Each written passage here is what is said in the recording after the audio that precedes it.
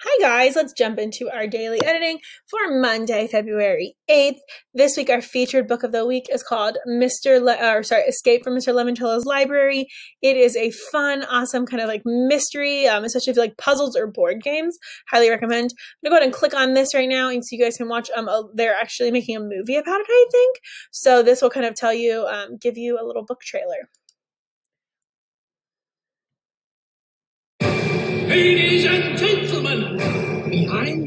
Doors is a library where the books come to life. Hi, friend. I'm Charlotte from Charlotte's Web. Holy cow! Get ready Jack and the Beanstalk. Please me, Mother Goose. What?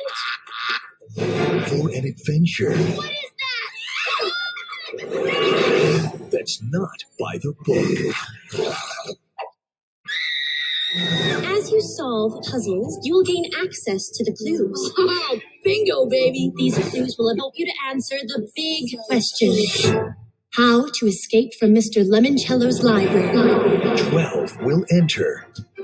Maybe we should form a team. Definitely. We're gonna crush you. But who will escape? I'm out of here! Wait! Don't Let the games begin. Let's do this.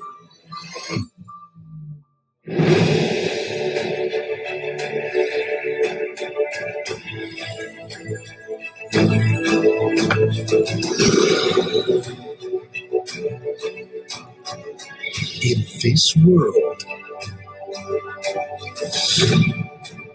imagination is everything.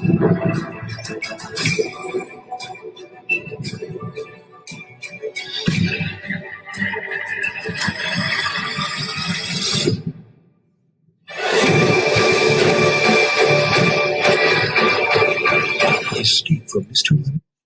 So it's a Nickelodeon movie, I guess. Highly recommend. I'm sure the movie's out there too, but the book is just as excellent, if not better. Um, I love it. It's one of my favorites. It's a short and easy read. Let's jump into our daily editing though this week. Okay, so Monday we have Mr. Lemoncello flourished his arm toward the ballroom doors. It's time to go across the street. Your amazingly spectacular new public library awaits.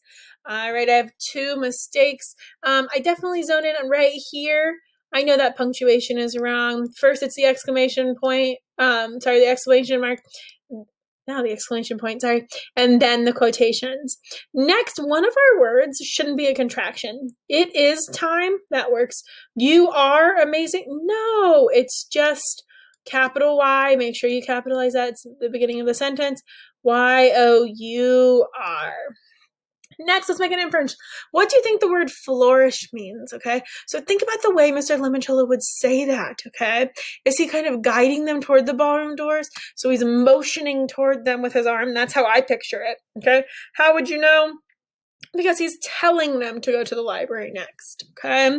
Next, all right, we have which of the following words is an adjective? I'm not going to give you the answer here, but I want you to think which one of these words is a describing word because that's an adjective.